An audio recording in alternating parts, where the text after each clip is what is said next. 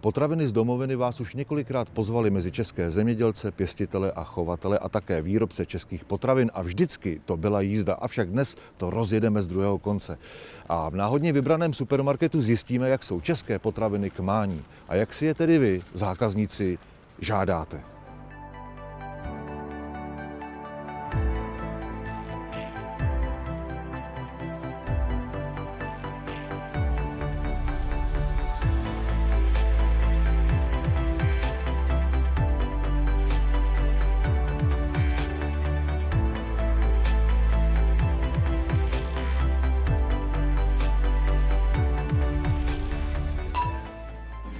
Potrpím si na staročeské Vánoce v kombinaci s rodinnými zvyky. Nemohu si nepřipravit domácí bramborový salát s čerstvou cibulí, smažený vepřový řízek s kyselou okurkou, o svátcích pstruha nebo sandáta, na Silvestra sírové pomazánky a na nový rok by sedl pečený králík tak, jak ho umí moje maminka. O pivu nemluvím, to je jasný. Stejně jako se rád potěším červeným vínem. Tak jsem nakoupil a jak svůj nákup zhodnotím? Tak začnu tím, že musím pochválit pestrost sortimentu, klobouk dolů. Ovšem jako český patriot, kterému záleží na tom, aby byla velká zaměstnanost v naší republice, tedy aby se eh, kupovaly české potraviny, aby ta ekonomika nám to vracela každému jednotlivci zase zpátky, tak se zaměřují pouze na české potraviny. Navíc přece vím, že eh, jejich výroba je dozorována těmi nejpřísnějšími pravidly, nařízeními, normami. To znamená, tyto potraviny jsou nejenom kvalitní, ale i zdravotně nezávadné podle těchto předpisů. A to je podstatné. Tady možná proto ten můj košík eh, není až tak plný, jak jsem si přál. Já ty jiné dovozové potraviny nekritizuji, já jenom říkám, že se zaměřuji pro ty důvody, o kterých mluvím na české. I když tam bylo docela dost českých potravin, což mě překvapilo, tak na základě mého zájmu, mého přání, co si chci třeba koupit na Vánoce a tak podobně na to období na konci roku, tak jsem až tak tolik neuspěl. Pojďme si to rozebrat. Českého pstruha a candáta neměli. Naštěstí jsem našel v chladícím pultu českého sivena, což cením. A současně se ale divím, že alespoň pro mne česká klasika candát tu byl z Kazachstánu a pstruh z Polska ale českého sivena slovem rybáře si uplavat nenechám, protože nakupováním českých potravin sděluji řetězci, co jako zákazník skutečně preferuji a co tedy opět příště očekávám v nabídce. V jogurtech jsem si mohl celkem dobře vybrat z několika českých výrobků, oblíbených u dospělých i dětí. Ačkoliv tu byla řada i zahraničních jogurtů, ale někdo třeba ocení pestrost výběru. Já samozřejmě chválím zejména českou kvalitu a tak jsem měl při nákupu jasno. Ještě nedávno se mi zdálo, že nečasto mám šanci v některých řetězcích pořídit česká jablka. Dnes a tady jsem naprosto spokojený. Při náhodném nákupu v náhodném supermarketu mi nabízeli hlavně česká jablka. Byla tu také italská, ale česká měla převahu. Vypadala náramně a bylo možné si vybrat z několika odrůd.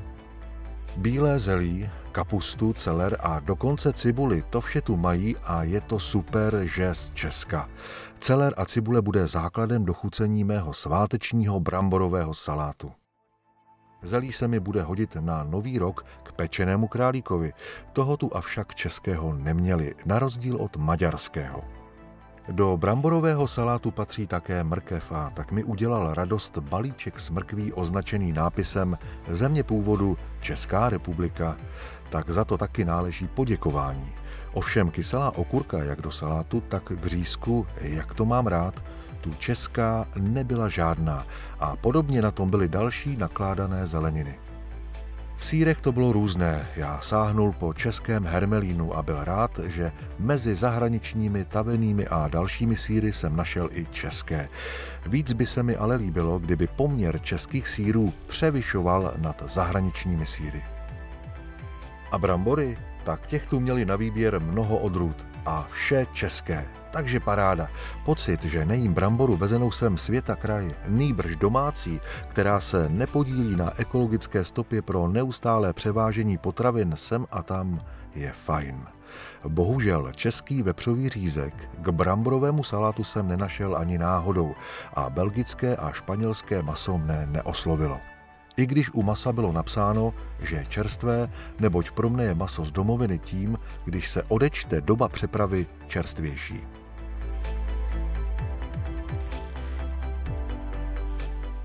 Při nakupování jsem šel za tím, co plánuji doma na stůl o Vánocích a na Silvestra a Nový rok od českých zemědělců, pěstitelů, chovatelů a výrobců potravin.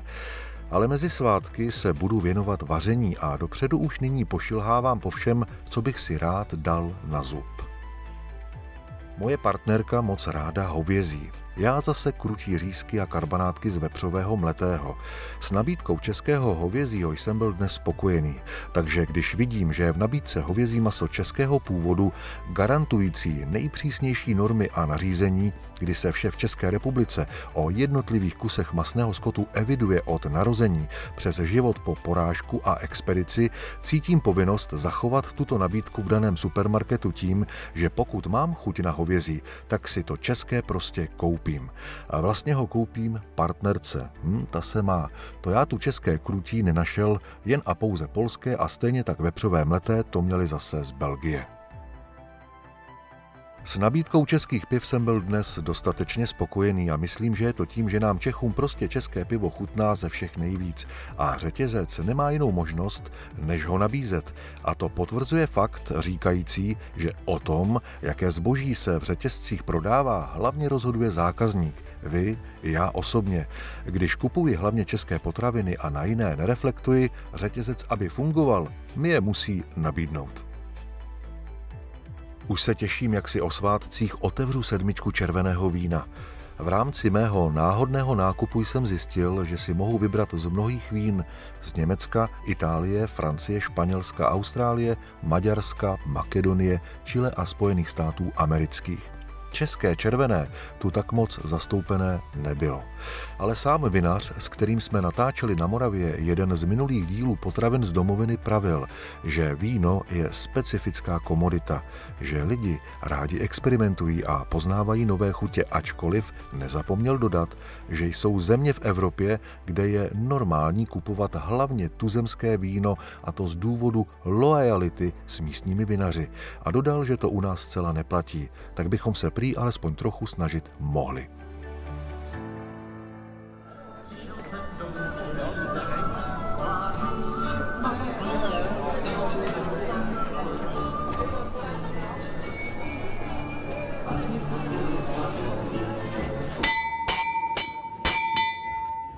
Je to tak. Přednosti zahraničních potravin, alespoň u mě osobně, už dávno odzvonilo. No samozřejmě teď, když jsem v obklopení vánoční atmosféry, tady na vánočních trzích, tak si říkám, že i tady nesmím zapomenout být ostražitý při sledování země původu na potravinách. E, protože není rozdíl mezi supermarketem a vánočním trhem. Ne, všude se dá koupit jídlo.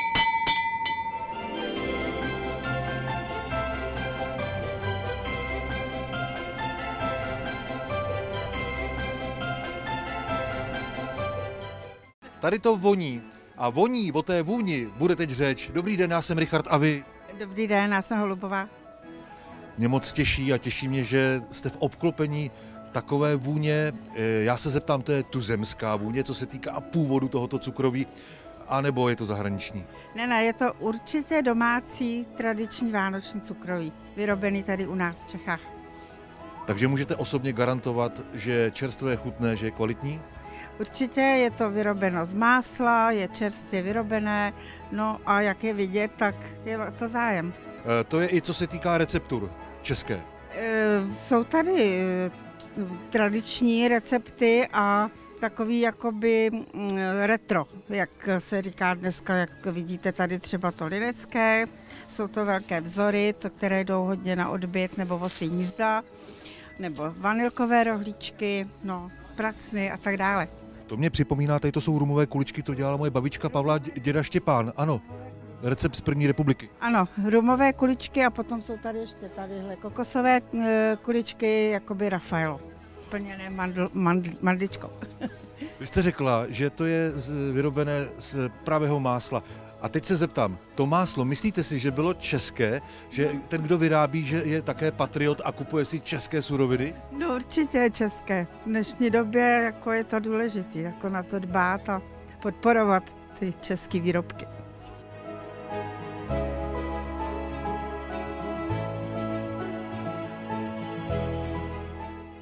Chválíme, chválíme české potraviny a nemažeme vám med kolem úst. Dobrý den, já jsem Richard Davy. Dobrý den, Honza.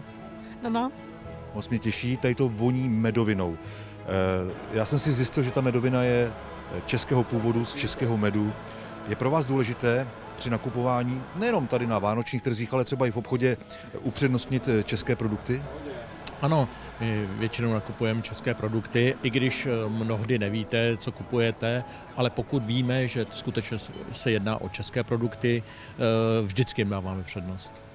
Věříte českým potravinám i po té stránce nejenom, že jste patriot a že to je správné je kupovat jako Čech, patriot, ale i po té stránce kvality a eh, zdravotní nezávadnosti? Ano, samozřejmě. Když nic jiného, tak už jen ten transport teda přes celou země kouly, tak vždycky si myslím, že ty české potraviny jsou lepší. Radost naslouchat náhodným respondentům. A jak jsou na tom třeba s masem? Co se týká masa, tak eh, na jehněčí máme vlastní zdroj domácího chovatele, protože ve srovnání to, co si koupí v a je to novozélandské jehněčí, nedá se srovnat. Eh, vy tady kývete hlavou, Honzo, jenomže jehněčí to je kumš toho připravit. Jak ho děláte doma? No většinou e, základ je jehněčí na česneku. Takže s bramborovým knedlíčkem na česneku krásně e, pomálu v páře pečený a to je potom teda dobrota. Patriotismus může být důvodem pro nakupování českých potravin, ale nejen patriotismus.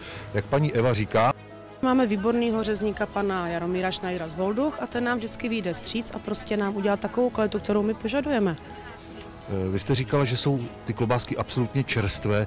Je to priorita mít na vánočních trzích právě takové? To je nejvyšší priorita. Ten zákazník to prostě pozná. Potřebuje, když si koupí tu potravinu, tak prostě, aby byla čerstvá, perfektně připravená, tak jak to prostě všechno má být. To, co od ní očekává. Tak tady mítím stánek a čtu slovenské a maďarské tradiční klobásy, tak to mě v tuto chvíli nezajímá, jako to, že tady vidím sírové speciality. A od Martina, kterého jsem před chviličkou potkal, jsem se dověděl, že polovina stánku jsou slovenské síry a polovina české, takže tato polovina mě zajímá, slovenské kamarády zdravíme, ale tohle to mě zajímá. Martin mě řekl, že jde o ruční, kvalitní, domácí výrobu. Stojí si za kvalitou a mě tady zaujal třeba tento lovecký sír, koukám za 100 korun, Ruční výroba pařených sírů, lovecký sír, pikantní česnek, česká výroba. Tak eh, možná já bych po něm sáhnul, je na něm paprika, česnek, česká výroba. Český sír, no tak však víte, jak je to eh, s potravinami z domoviny. Já jim dám přednost určitě. A jak vy? No, myslím si, že by měly se upřednostňovat české výrobky než, než nějaký zahraniční, co sem putujou, Bůh ví jak dlouho. Eh, můžu se zeptat na vaší profesi, co děláte? Já dělám v zemědělství. Eh, přesně co? V čem? Dělám v kravíně, normálně dojičku krav. Kdybych si koupil zahraniční mléko a na vaše se vykašlal, mrzelo by vás to? Určitě. Uvítal byste větší zastoupení českého zboží, nebo byste tomu nechal volný průběh? Tak asi určitě si myslím, že tak v české ekonomice by to velice pomohlo. Nicméně třeba eh, já úplně do marketu nechodím nakupovat a dneska je poměrně dost regionálních potravin nebo krámku, který to nabízejí a, a tam si myslím, že to je garantovaný tím, kdo to prodává. Máte pravdu, že bychom měli kupovat jako Češí český výrobky, ne? Už jenom proto, že jsme Češí. Vánoční trhy dovedou člověka vytrhnout ze schonu a zpomalit krok, zvlášť když na každém rohu panuje jiná vůně. Někde je to trdelník, jinde to jsou uzeniny, svařák a kdybych byl upír, obloukem bych se vyhnul stánku s českým bramborákem, kde vůně česneku každému milovníku tohoto tradičního jídla položí otázku. Dáš si? No já odpovím, rád, ale je v něm všechno české? Ano, jsme české holky u českých bramboráků. Máme tady všechno český, čili český česnek, brambory, majránku, no prostě všechno. A když sami pak nakupujete jinde potraviny, dáváte si pozor na to, zda jsou z Česka, nebo je vám jedno, že jsou třeba dovozové? Není mi to jedno. Dáváme si český a dáváme si na to pozor a hlavně já mám ráda český pivo, žádný německý nebo jakýkoliv, prostě všechno český, protože máme českou klobásu. Češi mají kvalitní zboží, tak proč kupovat nějaký jiný? Tohle nás naučila babička a proto my propagujeme české jídlo a český uh, bramborák. A hned naproti stánku s bramborákem mě zaujme stánek s uzenými rybami.